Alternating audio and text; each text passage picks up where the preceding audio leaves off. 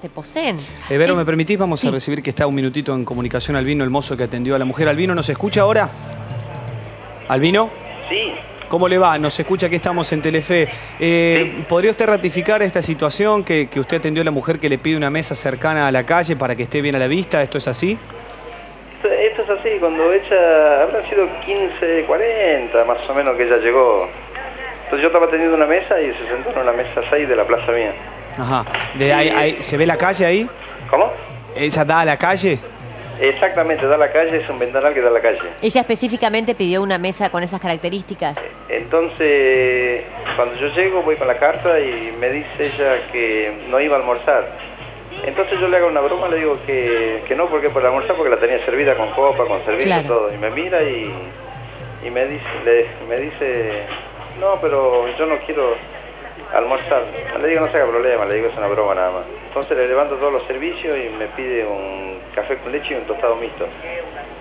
Y de ahí ella me dice que, que lo perdone porque ella quería esa mesa porque quería que la vean de afuera y mirar para afuera. ¿Y en Entonces le digo, no, que se tranquila, no se haga problema, le digo, si yo ya me marcho y... Bueno, cuando le, le llevo el pedido, ella me dice, ¿te pago? No, le digo, si está esperando gente, no, le digo. Y de ahí ella me dice, ¿usted anda por aquí, no? Mire, esta es mi plaza, de acá toda la vuelta es mi plaza, le digo así.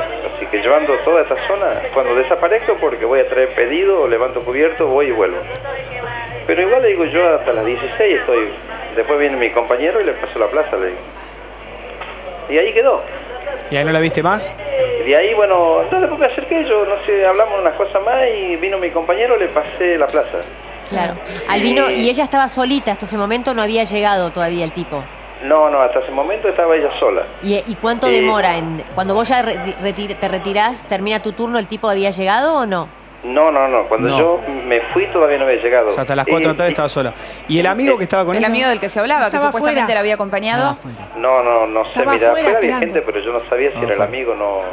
Yo lo- al otro día me, me entero de lo Claro. que pasó. Albino, ¿y en qué condición llegó? Digo, ¿estaba temerosa, estaba nerviosa? ¿Cómo la encontraste? ¿Cómo la viste?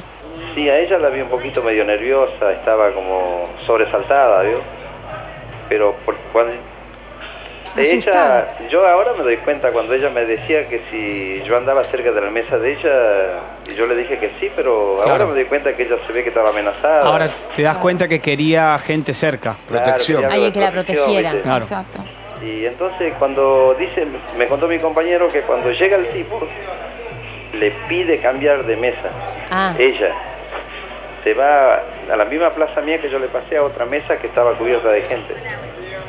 Eh, porque yo tampoco ni sabía que era ella. Él me cuenta, ¿sabés quién era la chica? Me dice que la mataron, la que vos me pasaste en la mesa 6. Le digo, no puede ser. Sí, me dice. ¿Y qué te cuentan tu- tus compañeros de la situación, de la situación en sí? ¿Cómo, cómo se desarrolló?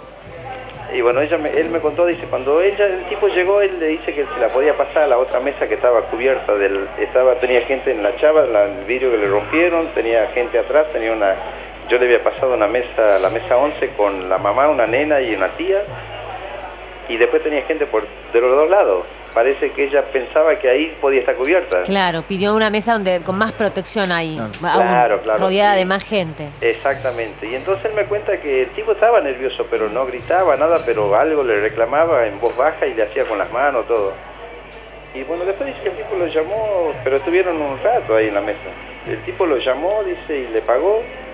Cuando él se vino para atrás, le- vio que le iba a poner la campera y le empezó a cuchillar. Qué horror. O sea, ah, él fue a ponerle la campera a ella. Claro, hizo como ponerle la Ah, campera Y, le le empezó, y la empezó a clavar desde atrás. Exactamente. Bueno, de, ahí, de ahí me cuenta que el hombre que estaba en la chava, en la 8, donde rompieron el vidrio, le tiró un sillazo, lo sacó.